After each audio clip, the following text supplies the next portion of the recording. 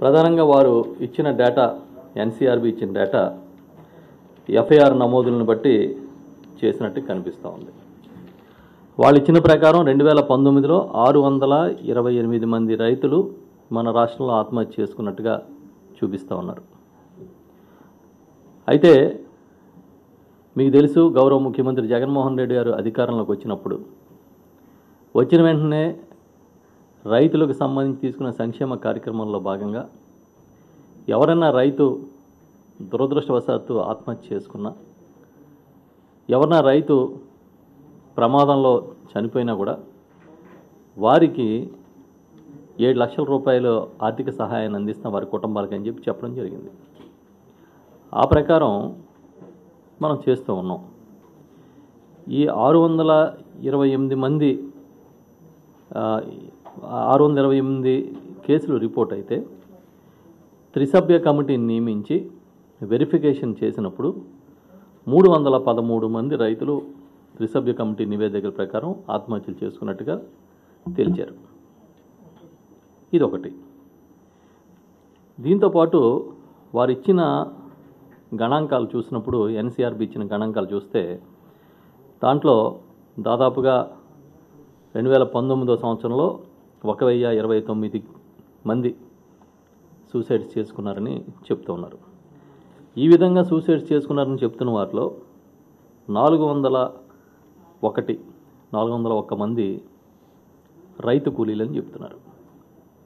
So ఇవన్నీ చూసినప్పుడు చాలా స్పష్టంగా అర్థమవుతున్నది ఏంటంటే ఎఫ్ఐఆర్లు నమోదైన వాటిని వెరిఫై చేస్తే మన రాష్ట్రంలో రెండు వేల పంతొమ్మిదో సంవత్సరంలో జనవరి నుంచి డిసెంబర్ వరకు మూడు వందల పదమూడు మంది రైతు మరణాలు ఆత్మహత్యలు సంభవించినట్టుగా ప్రభుత్వం నిర్ధారించింది.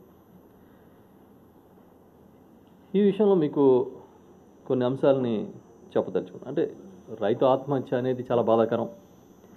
వ్యవసాయం గిట్టుబాటు కాక మరణించడమే కాకుండా రకరకాల ఒత్తిళ్ళు కుటుంబ సమస్యలు కానీ ఇతరత్ర ఒత్తిడి వల్ల కూడా మరణించినట్టుగా నివేదికలు ఉన్నాయి ఏది ఏమైనా ఒక్కసారి రైతు వ్యవసాయం చేసుకుంటూ కష్టం అనుభవిస్తూ ఆ కష్టాన్ని భరించలేక ఒత్తిడి భరించలేక ఆత్మహత్య చేసుకుంటే తప్పకుండా ప్రభుత్వం వారిని ఆదుకుంటుందనేది ఆ రోజు నుంచి ఈరోజు వరకు అమలు చేస్తూ ఉన్నాం. ప్రధానంగా ముఖ్యమంత్రి గారు ఆదేశాల ప్రకారం ఏదైనా సంఘటన జరిగితే వెంటనే ఇరవై నాలుగు గంటల లోపు జిల్లా కలెక్టర్ గారు సంబంధిత జిల్లాలోని ఆ- ఆ నియోజకవర్గ శాసనసభ్యులను కూడా విజిట్ చేసి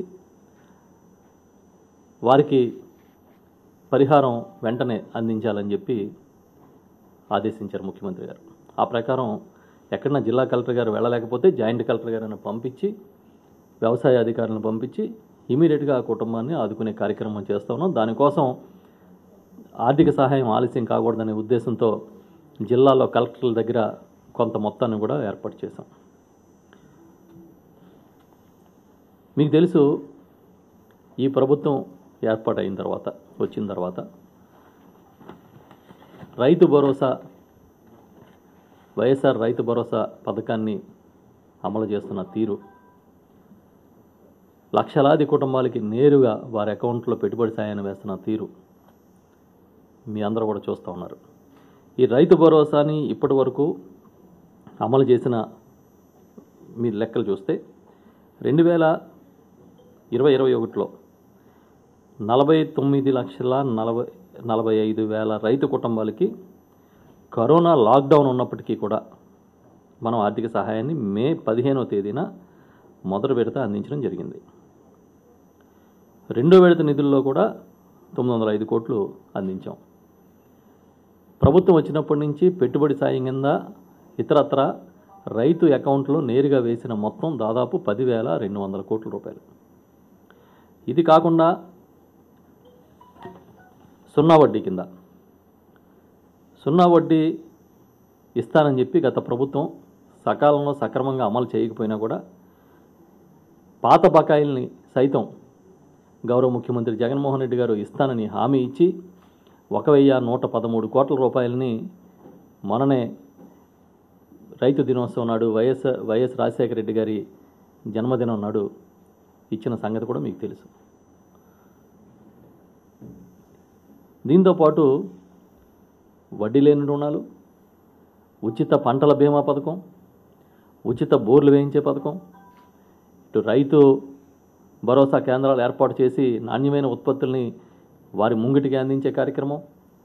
విత్తనాలు సబ్సిడీ పైన ఇచ్చే విత్తనాలనే కాదు నాణ్యమైన విత్తనాలను కూడా గ్రామాల్లోనే పంపిణీ చేసే కార్యక్రమం. మొట్టమొదటిసారిగా మొన్న సీజన్లో విత్తనాలన్నీ కూడా గ్రామ స్థాయిలో పంపిణీ చేసాం ఒక్క చిన్న ఇన్సిడెంట్ జరగకుండా. ఇవి కాకుండా ఎలైడ్ సెక్టర్స్ని కూడా పెద్ద ఎత్తున అభివృద్ధి చేస్తున్న విషయం మీకు తెలుసు. మూడు వేల కోట్ల రూపాయల ధరల స్థిరీకరణ నిధిని పెట్టి చివరికి పొగాకు కూడా ప్రభుత్వం మొట్టమొదటిసారిగా కొనుగోలు చేసింది. మార్క్ఫెడ్ ద్వారా కొనుగోలు చేయించి ట్రేడర్స్కి పోటీగా వెళ్ళి ఎంత నష్టమైనా పర్వాలేదు ఎన్ని ఇబ్బందులు వచ్చినా పర్వాలేదు మనం కొనుగోలు చేయాల్సిందని ముఖ్యమంత్రి గారు చెబితే ట్రేడర్స్కి పోటీగా వెళ్ళి ఇవాళ పొగా కొనుగోలు చేస్తూ ఉన్నాం. మీకు తెలుసు లాక్డౌన్ టైంలో అరటి దగ్గర నుంచి మొదలుపెట్టి జామ దాకా మనం కొనుగోలు చేసాం ప్రభుత్వమే కొనుగోలు చేసింది. ఇన్ని రకాలుగా ప్రతి విషయంలో కూడా ఆదుకునే కార్యక్రమం చేస్తూనే ఇంకా మార్కెటింగ్ వ్యవస్థని పటిష్టపరచడం గోడౌన్లు తీసుకురావడానికి కోల్డ్ స్టోరేజ్లు తీసుకురావడానికి ఇటు శాశ్వత పద్ధతిలో రైతులు ఉత్పత్తుల నాణ్యత పెంచడానికి అవసరమైన సార్టింగ్ గ్రేడింగ్ యూనిట్లను ప్రతి గ్రామంలో రైతు భరోసా కేంద్రానికి అనుసంధానంగా ఏర్పాటు చేయడానికి కానీ ఇవన్నీ కూడా చర్యలు తీసుకున్నాం. త్వరలోనే నెక్స్ట్ సీజన్ నుంచి అన్ని రైతు భరోసా కేంద్రాలు కూడా ప్రొక్యూర్మెంట్ సెంటర్లుగా పనిచేయబోతూ ఉన్నాయి.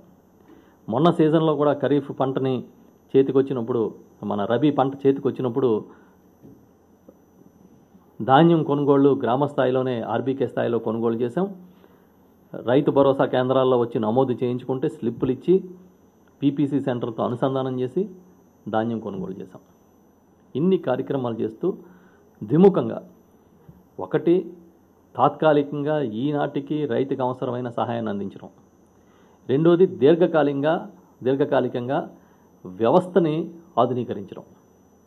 అవసరమైన శాశ్వత వనరుల్ని సమకూర్చడం. ఈ పద్ధతిలో ప్రభుత్వం ముందుకెళ్తూ ఉంది. పరిస్థితి ఇలా ఉంటే ఇంత పని చేస్తూ ఉంటే ముఖ్యమంత్రి గారు వ్యవసాయానికి అత్యధిక ప్రాధాన్యత ఇచ్చి నేను రైతు పక్షపాతి ప్రభుత్వాన్ని ప్రభుత్వాన్ని నడుపుతున్నానని చెప్పి చెబుతూ ముందుకెళ్తూ ఉంటే కొన్ని అంశాలు వచ్చినప్పుడు పత్రికల్లో తెలుగుదేశం పార్టీ వారు కానీ వారి మద్దతుదారులు కానీ ముందు వెనక ఆలోచించకుండా చాలా రెచ్చిపోయి స్టేట్మెంట్లు ఇస్తున్నారు. రెండు వేల పంతొమ్మిదిలో సూసైడ్స్ అధికంగా జరిగినాయని ఎన్సీఆర్బీ రిపోర్ట్ ఇస్తే ఇదంతా జగన్మోహన్ రెడ్డి గారి వైఫల్యం. రైతులకు వెన్నుపోటు పొడిచాడని చెప్పి నిన్నటి నుంచి ఓకదంపుడుగా పెద్ద పెద్ద స్టేట్మెంట్లు ఇచ్చారు. అలా రెండు వేల పంతొమ్మిదిలో జూన్లో ఈ ప్రభుత్వం ఏర్పడింది. ముఖ్యమంత్రిగా జగన్మోహన్ రెడ్డి గారు ప్రమాణ స్వీకారం ఎప్పుడు చేశారు? అప్పటి వరకు ఎవరు వెలగబెట్టారు ఈ రాష్ట్రాన్ని పరిపాలించిన పరిపాలనని? చంద్రబాబు నాయుడు గారే కదా. వారు చేసిన కాలం కూడా ఆరు నెలలు ఉంది దీంట్లో ఐదు నెలలు. ఐదారు నెలలు అక్కడే ఉంది కదా. ఇంకా మిగతా ఆరు నెలలే ఈ ప్రభుత్వం అధికారంలోకి వచ్చి. సో ఒకవేళ నిజంగా అత్యధికంగా జరిగిపోయి ఉంటే ఈ పాపంలో భాగస్వామి ఎవరిది? వచ్చిన వెంటనే వ్యవస్థను సరిదిద్దే కార్యక్రమం ప్రారంభించి చేస్తున్న లోపల మీ మీరు చేసిన తప్పులు మీ తప్పిదాలు మీ చేతగానితనమే కదా ఇవాళ ఈ ప్రభుత్వం చక్కదిద్దుతున్న కార్యక్రమం చేస్తూ ఉంది. అదంతా క్యారీ ఫార్వర్డ్ లాగా మీరు చేసిన మీరు పెట్టిన ఇబ్బందులన్నీ కూడా క్యారీ ఫార్వర్డ్ లాగా వస్తే వాటన్నిటిని సంస్కరించి పరిష్కరించి ఈ ప్రభుత్వం ముందుకు తీసుకెళ్తా ఉంది. దాని పర్యవసానమే ఈ రోజున రెండు వేల ఇరవై వచ్చేటప్పటికి ఆత్మహత్యల సంఖ్య బాగా తగ్గింది. ఎందుకు తగ్గింది? ఇన్ని రకాల కార్యక్రమాలు అమలు చేయడం వల్ల ఈ ప్రభుత్వం పట్ల ప్రజల్లో నమ్మకం ఏర్పడింది రైతుల్లో నమ్మకం ఏర్పడింది ముఖ్యమంత్రి గారు మాకున్నారని ఒక భరోసా ఏర్పడింది. సీజన్ చాలా అనుకూలమైన సీజన్ ఉంది. లాస్ట్ ఇయర్ అన్ని రిజర్వాయర్లు నిండినాయి సకాలంలో వర్షాలు కురిసినాయి. నూట ఎనభై రెండు లక్షల మెట్రిక్ టన్నుల ఉత్పత్తులు రికార్డు స్థాయి ఉత్పత్తులు ఈ రాష్ట్రంలో వచ్చాయి. ఈ సంవత్సరం కూడా ఇప్పుడు దాకా చూసుకోండి ఎంత బ్రహ్మాండమైన వాతావరణం ఉందో. అనంతపురంలో ఎక్సెస్ రెయిన్ఫాల్ వచ్చింది. అనంతపురంలో వర్షాలు పడే సమయానికే ఒక్క చిన్న ఇన్సిడెంట్ లేకుండా నాణ్యమైన విత్తనాలని మనం అందించాం. ఇవి వాస్తవాలు ఇవన్నీ. ఏదో చిన్న వార్త వస్తే ఎక్కడో ఒక రిపోర్ట్ వస్తే దాన్ని పట్టుకుని చిలవల పొలవలు అల్లేసే కార్యక్రమం. నోటికి ఏమొస్తే అది మాట్లాడడం. మేము అడుగుతున్నాం నిజంగా రెండు వేల పంతొమ్మిదిలో ఆత్మహత్యల సంఖ్య ఎక్కువే ఉంటే ఆ పాపం మీది కదా? చంద్రబాబు నాయుడు అని అడుగుతున్నాను నేను. మీరు చేసిన నిర్వాహకం కాదా? ఐదేళ్ళ పాటు మీ నిర్లక్ష్యం కాదా? ఐదేళ్ళ పాటు రైతులకి కళ్ళబొల్లి కబుర్లు చెప్పి ఒక్క చిన్న కార్యక్రమం కూడా వాళ్ళకి మేలు చేసే కార్యక్రమం చేయకుండా తెప్ప తగలేయడం కదా? అందుకే ఆ పాపమే రెండు వేల పంతొమ్మిదిలో మేము వచ్చి సరిదిద్దుతూ ఉన్నాం. ఈ లోపల రైతులు ఒత్తిళ్ళకు గురై అక్కడక్కడ కొంతమంది ఆత్మహత్యలు చేసుకుంటే ఆ కుటుంబాలన్నీ ఆదుకోవడమే కాదు. రెండు వేల పద్నాలుగు నుంచి పంతొమ్మిది వరకు చంద్రబాబు నాయుడు గారి హయాంలో ఎక్కడైతే ఈ ఎన్సీఆర్బి రికార్డులో నమోదై ఉన్నాయో వాటన్నిటిని కూడా మళ్ళీ పరిశీలన చేయించి ఆ రికార్డులో పరిశీలన చేసిన తర్వాత నిజమైన రైతుల ఆత్మహత్యలుగా చూసి వారికి కూడా మనం ఆర్థిక సహాయం అందించడం జరిగింది. గత ప్రభుత్వ హయాంలో రెండు వేల పద్నాలుగు పంతొమ్మిది వరకు నమోదై తిరస్కరించిన ఏడు వందల అరవై తొమ్మిది కేసుల్లో వాటిని పునర్విచారణ జరిపిన తర్వాత మూడు వందల తొంభై మూడు మంది రైతుల ఆత్మహత్యలు నిర్ధారించి పంతొమ్మిది పాయింట్ ఆరు ఐదు కోట్ల రూపాయల ఆర్థిక సహాయాన్ని వారికి ఇవ్వడం జరిగింది. ఈరోజు రెండు వేల పంతొమ్మిదిలో జరిగిన ఆత్మహత్యలకు సంబంధించి కూడా ఎప్పటికప్పుడు పరిహారం అందించాం. ఎక్కడ ఆలస్యం చేయలే. మేమేం చెప్తా ఉన్నామంటే ఏదైనా ఎక్కడైనా జరిగినప్పుడు అయ్యో పాపం అన్నం మానేసి చంకలు దుద్దుకునే కార్యక్రమం ఏంటి చంద్రబాబు నాయుడికి వాళ్ళ అనుయాయులకి ఈ తెలుగుదేశం పార్టీకి? ఈ రాష్ట్రంలో రైతు కంట కన్నీరు కనబడకూడదనే లక్ష్యంతో ఈ ప్రభుత్వం పనిచేస్తుంది. ఈ ముఖ్యమంత్రి గారు పనిచేస్తున్నారు. ఏ ప్రభుత్వం గతంలో? రాజశేఖర రెడ్డి గారు రైతు అంటే గుర్తొస్తారు. కానీ వాళ్ళ నాన్న ఒక అడుగు వేస్తే నేను నాలుగు అడుగులు ముందుకేస్తానని చెప్పి ముందుకెళ్తున్న ముఖ్యమంత్రిగా ఆయన పనిచేస్తూ ఉంటే ఏదో అవకాశం దొరికింది కదా అని మాట్లాడుతున్నారు నిజంగా చెబితే రెండు వేల పంతొమ్మిది ఆత్మహత్యలు అధికంగా జరిగినాయని మీరు భావిస్తే అది మీ పాపమే అని తెలుగుదేశం పార్టీకి నేను చెప్తున్నా. ఇకపై అది జరగదు. ఇప్పుడు రెండు వేల ఇరవైకి తీసుకుంటే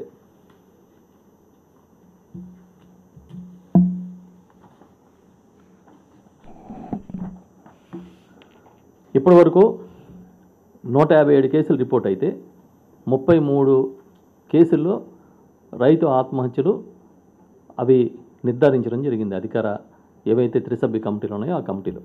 వారందరికీ కూడా ఆర్థిక సహాయం అందించారు. దీన్ని బట్టి మీరు చెప్పండి. ఇది ఏ నెల? సెప్టెంబర్లోకి వచ్చాం. సెప్టెంబర్లోకి వస్తే ఇప్పటి వరకు రెండు వేల ఇరవైలో రిపోర్ట్ అయినాయి నూట యాభై ఏడు కేసులు. నిర్ధారించిన ముప్పై మూడు కేసులు.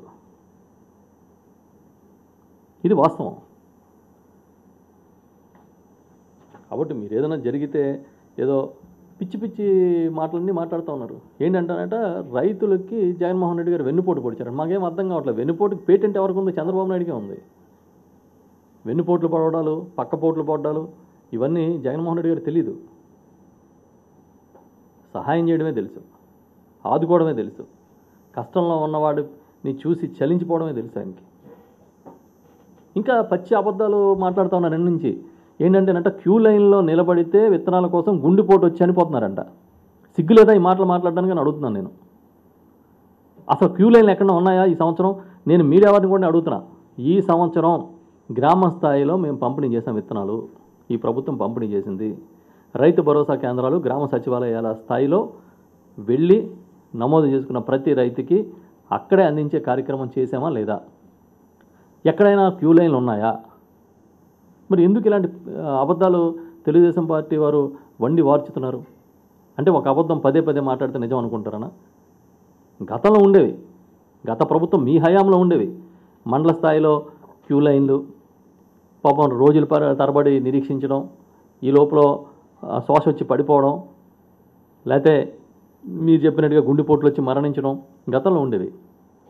ఇప్పుడు రైతు భరోసా లబ్ధిదారుల్ని ఏటా తగ్గించేస్తున్నారని కూడా ఒక ఆరోపణ చేశారు.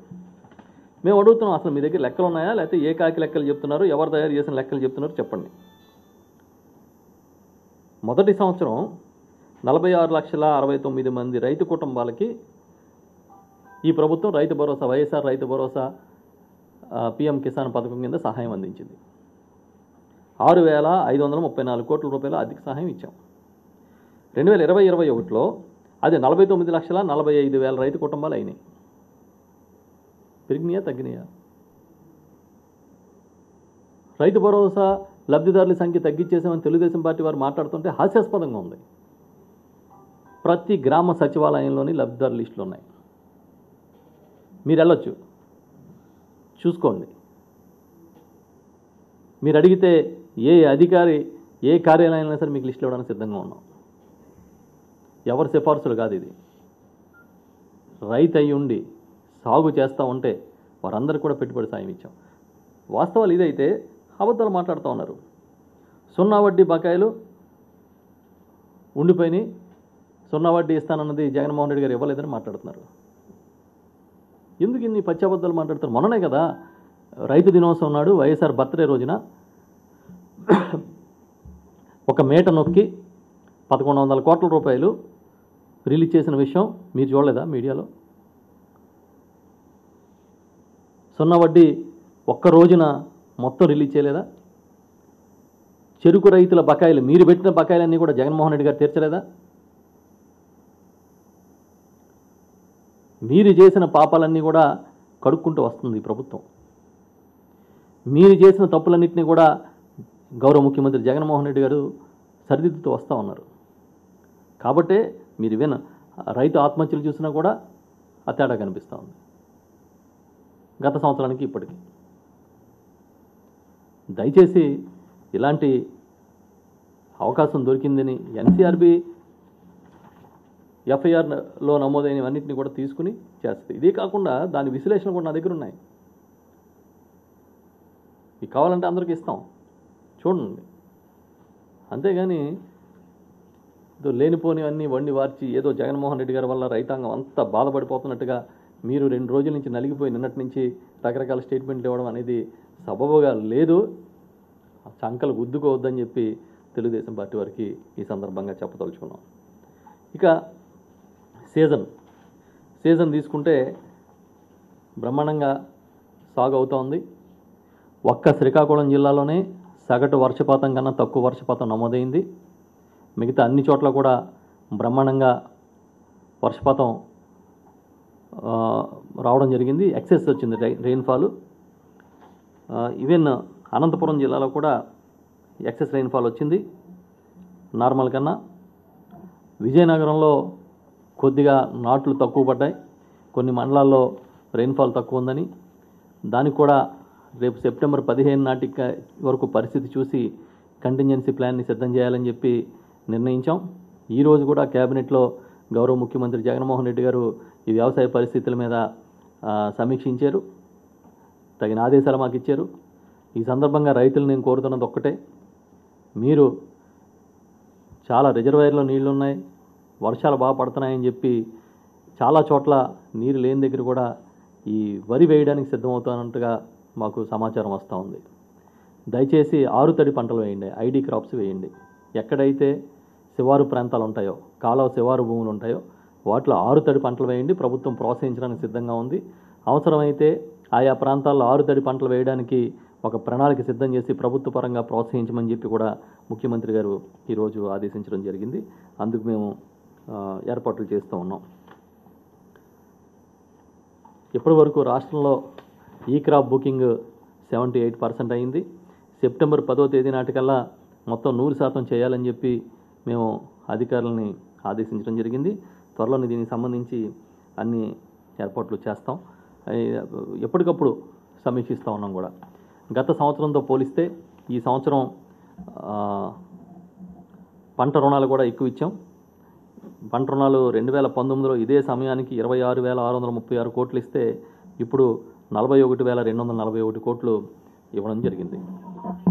దీంతోపాటు కొన్ని సహకార రంగానికి సంబంధించి కూడా దాదాపుగా సమీక్షించినప్పుడు ఏడు వందల ముప్పై సహకార సంఘాలు రాష్ట్రంలో ప్యాక్స్ నష్టాల్లో ఉన్నట్టుగా లెక్కలు ఉన్నాయి సో వీటిని లాభాల్లోకి తీసుకురావడానికి మెరుగైన ఫలితాలు అందించే దిశగా చేయడానికి ఒక ప్రణాళిక సిద్ధం చేశాం. ప్రతి డీసీసీబీలోని జిల్లా కేంద్ర సహకార బ్యాంకుల్లో ఈ ప్యాక్స్ డెవలప్మెంట్ సెల్స్ని ఏర్పాటు చేశాం. ప్రాథమిక సహకార సంఘాల అభివృద్ధి సెల్స్ని దానికి ప్రత్యేకంగా నిపుణులైన అధికారులను నియమించాం. రాష్ట్ర స్థాయిలో ఆప్కాబ్ నేతృత్వంలో కూడా ఒక అధికారిని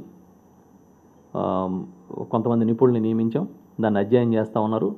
ఒక టార్గెట్ పెట్టుకుని ఆ టైం పీరియడ్లో దీన్ని సహకార సంఘాలను అభివృద్ధి చేయాలని చెప్పి నిర్ణయం తీసుకున్నాం.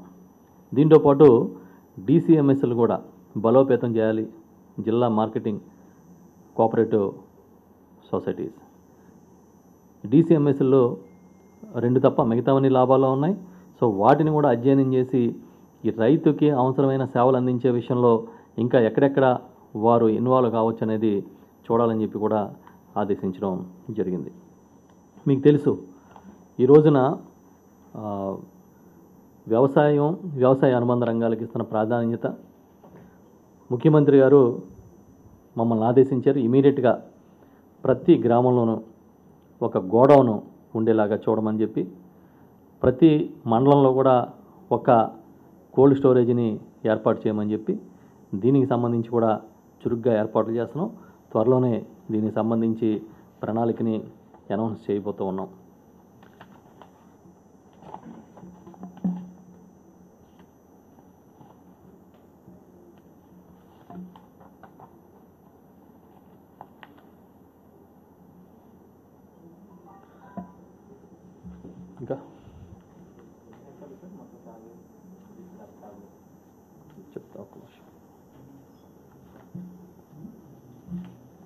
విస్తీర్ణం అన్నారా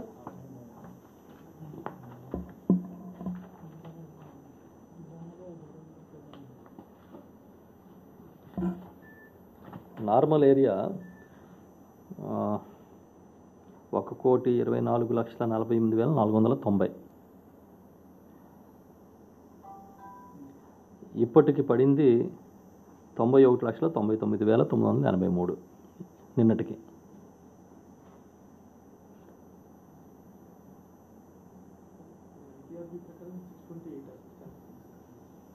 సిక్స్ చెప్పాను కదా? ఒక్క నిమిషం. సిక్స్ ట్వంటీ ఎయిట్ ఎన్సీఆర్బి వాళ్ళు ఇచ్చిన ఫిగర్ వాళ్ళు ఇచ్చిన figure ten thousand twenty nine అందులో రైతు కూలీలు వాళ్ళని తీసేసి సిక్స్ ట్వంటీ ఎయిట్ చూపించారు వాళ్ళు రైతు ఆత్మహత్యలు. అంటే ఆ రెండు కలిపి టెన్ థౌజండ్ ట్వంటీ నైన్ చూపిస్తున్నారు. One thousand twenty nine one thousand twenty sorry one thousand twenty nine ఈ వన్ థౌజండ్ ట్వంటీ నైన్లో six twenty eight actual farmers అనమాట ఇప్పుడు రెండు వేల పంతొమ్మిది జనవరి నుంచి డిసెంబర్ దాకా. వైఎస్ఆర్ ప్రభుత్వం వచ్చింది జూన్లో. అప్పటి వరకు చంద్రబాబు నాయుడు గారి సర్కార్ నడిచింది. సో ఆ తర్వాత మేము వచ్చి ఒక్కొక్కటి ఒక్కొక్కటి సరిదిద్దుకుంటూ సంస్కరణలు చేసుకుంటూ ముఖ్యమంత్రి గారు రైతులే ప్రధాన అంశంగా ప్రధాన అజెండాగా తీసుకుని ముందుకెళ్ళి పాత పాపాలన్నింటినీ కూడా చంద్రబాబు నాయుడు గారు చేసిన పాపాలన్నింటినీ కడిగే కార్యక్రమం చేస్తే ఇప్పటికీ దాని ఫలితాలు ప్రారంభమైనవి ఈ సంవత్సరం సూసైడ్ చాలా తగ్గాయి. మీకు గుర్తుంటే రెండు వేల నాలుగులో రాజశేఖర రెడ్డి గారు అధికారంలోకి వచ్చినప్పుడు రెండు వేల ఐదులో ఆ సంవత్సరం కూడా అంతకుముందు చంద్రబాబు నాయుడు గారి నిర్వాహకం వల్ల జరుగుతున్న రైతుల ఆత్మహత్యలు ఆ సంవత్సరం కూడా సంఖ్య ఎక్కువే కనబడుతుంది మీరు పాత డేటా తీస్తే. ఆ తర్వాత నుంచి క్రమంగా తగ్గిపోతూ వచ్చింది ఎందుకంటే ఇది దాని ఎఫెక్ట్ అది. దాన్ని ఏమంటామంటే వారు చేసిన దాని ప్రభావం అలా క్యారీ అవుతూ వస్తుంది. కొంతకాలానికి డెఫినెట్గా రైతు ఆత్మహత్య లేని రాష్ట్రంగా ఆంధ్రప్రదేశ్ని తీర్చిదిద్దాలనే లక్ష్యంతో పనిచేస్తా ఉన్నాం.